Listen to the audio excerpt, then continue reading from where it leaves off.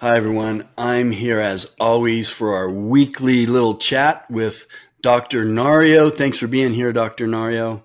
Hi, Steve. Thank you for having me again. Always a pleasure.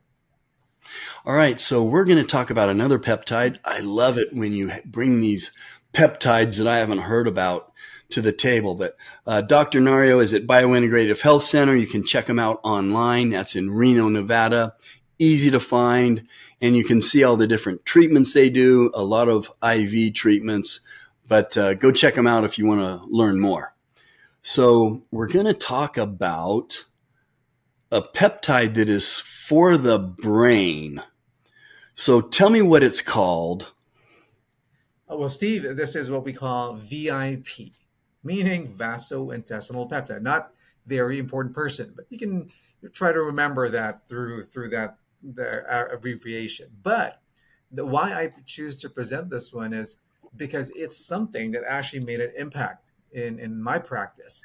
So there, I, I, I specialize in mold as well, and also the condition called CIRS or chronic inflammatory response syndrome. And one of the things that, that the pathology does in terms of damage is actually to the brain. So we have what we call the nucleus of the brain. These these microorganisms, these mycotoxins, they want to go there and destroy that. And when we thought that once brain tissue is destroyed, you're not gonna get it back but with this one, you will. So this is one of the things that I'll discuss in a bit, but I just want to give you a little preview, a little teaser on what it is. And also, it's not new. It was discovered in the 1960s. It actually was used as a what we call vasodilator or something that opens your blood vessels up, up to actually control your blood pressure. And it's a neuropeptide or brain peptide made of 28 amino acids and it's also like BPC. We were having a conversation a while ago with Steve that it was isolated initially from the intestines. So, but it, mm. it is found throughout the body also. And again, when I mentioned about the brain, it's found in the central nervous system, the peripheral nervous system. And it has so many roles in, in our bodies. May it be a neurotransmitter function, a neuromodulator, and even a hormone. Okay, so now you mentioned that you use this in your practice and that it works. How long does it usually take before people notice a benefit? Have you paid attention to that or have you kind of made a mental note of that? And uh, remember everybody just to just to remind you, a peptide is a short chain of amino acids, which the doctor just said. It's a short chain of amino acids um, which comes from the protein that we eat. But do you notice the first week? Does it take a year? What's the process? Uh, Steve, well, in, in my situation here is I use VIP mostly with the chronically ill, meaning they're already pathologically damaged in the brain. And usually these are the, the biotoxin or mycotoxin ill patients that I have.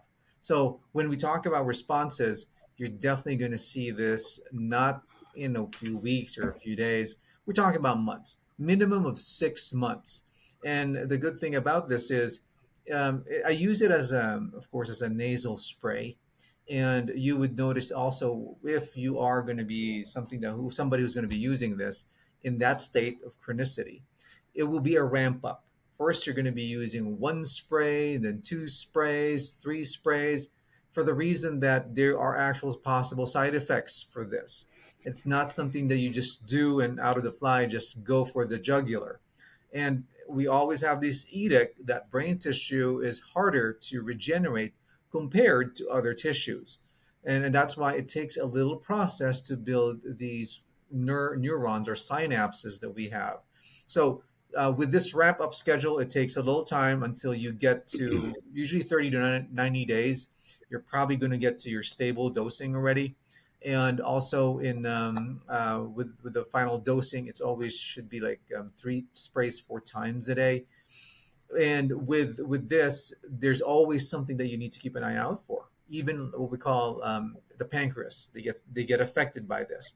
So the the levels you need to check all the time and even um, also you need to make sure you do regular blood testing for kidney and function and that's why six months is probably in my short to my to shorten my answer there six months is where we see activity, where brain starts to grow again, meaning uh, brain function in accordance to an MRI. So we, we, we use a, a state uh, a, a, device called NeuroQuant, and that will be the one that will show you from baseline to where you are. That there will be what we call regeneration uh, in a way. Okay, so you're checking blood work with this, like you do in you know with so many things, right? And now you're measuring what brain activity with the the test that you're doing six months into this, or is, it, how how are you tracking the results? Mm-hmm. Well, with the MRI. Yes. So with MRI, it's well again with MRIs, you don't want to use that to us as tracking parameters. The reason why it's so expensive.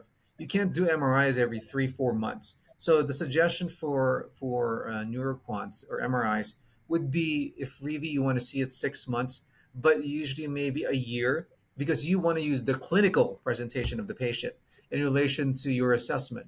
They will tell you, I'm remembering things now. Everything's just clear. Uh, I can actually think and, and be myself again. So these are better uh, reasons for you to continue. And that's why blood test is a more reasonable way to monitor the continuous use of VIP rather than just doing repetitive MRIs. Yeah, so the blood work is making sure that they're not going to have different side effects, right? Or That's doing damage.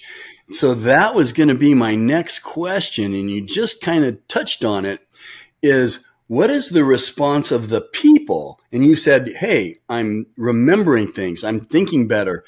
And what they usually do you usually start to hear this from most of your patients like at the six month mark? And what what are can you give us a little more detail? This is pretty cool on right. what the things that they tell you. Right. Well, Steve, the the one that I again I tell you about are what we call the CIRS patients, or the CIRS patients, or the mycotoxin infested patients, and these are chronically ill. So that's why when you actually go through, I use a protocol. It's called the Shoemaker protocol, and you have to go through steps. It's not like from the get go you're going to use VIP immediately. You have to clear flags and checkpoints here before you actually deserve to get to VIP. So that's why when you get to that point, that's already a, a, a, time frame of months, like six to eight months before getting to VIP. That's why when VIP gets into the picture, the slightest benefit of wow, I can actually remember a name who I actually like met somebody yesterday and still remember it now. The smallest thing these these people appreciate and they actually do backflips about this because they don't have that ability when they didn't use VIP at the beginning. So, yes, 6 months is just the smallest thing, but let's talk about normal people. Maybe that's that's something that you probably are interested also in knowing. Do I give this to normal individuals? Sometimes yes. And because of the different benefits that it brings to the table. So that's why there are benefits for for for healthy individuals and also benefits for sick individuals. Okay, so the healthy individuals, and and it's like my brain is just spinning right now. So, uh, first, a lot of these people that have um, the issues. Mm-hmm. What caused these? You said you're treating mold. Could it be mold, or what? What are some of the? Because if you guys have uh, questions, put them in the comment section. If you want to know more about this, maybe this applies to you out there listening. What caused, for some of your patients, what caused the problem? Right. So, Steve, when you talk about brain conditions, so brain conditions could be in so many forms. Uh, the, the first thing that comes in our heads usually would be the common Alzheimer's, MS, Parkinson's, right? So they are candidates for, for such. But the thing here also, when you talk about other causes that are not known, so there are also what we call like, yes, mold illness, Lyme, um, even even a, a brown recluse spider bite can actually go to the brain and destroy that, and even algae blooms. So all of these are are spitting out chemicals that actually destroys your brain, and that's why there's so many myriads of, of these possible causes for brain to react this way. But I also have patients who just, hey, I want something to boost my brain. So sure, I have right. those the extremes, and also from the beginning, and also from the end of the extreme, um, uh, I guess, uh, coverage. So I have used that in, in patients. Okay, so let's go to the healthy side of this, like you said. So I'm in my 60s, mm-hmm. and this is something that I would benefit from. Right. So, what would it do for me? Right. So, for your situation, there are different benefits that VIP also carries. Number one, you have to remember VIP also was a vasodilator. I think I mentioned that at the beginning. It controls blood pressure. So, patients who actually has high blood pressure, it can be well. That's not for healthy, but for people who wants to assist their their blood pressure management, this is also something that they can use. This is a vasodilator. Patients who has a lot of inflammation, right? Inflammation, exercising, a lot of uh, fat load or, or um, adipose tissue. VIP has a very uh, anti-inflammatory um, capacity to lower down cytokines and even uh, lower down the, the immune response. Gastrointestinal, vasointestinal peptide. It definitely helps heal the gut because it, it irons out all these little holes that we have.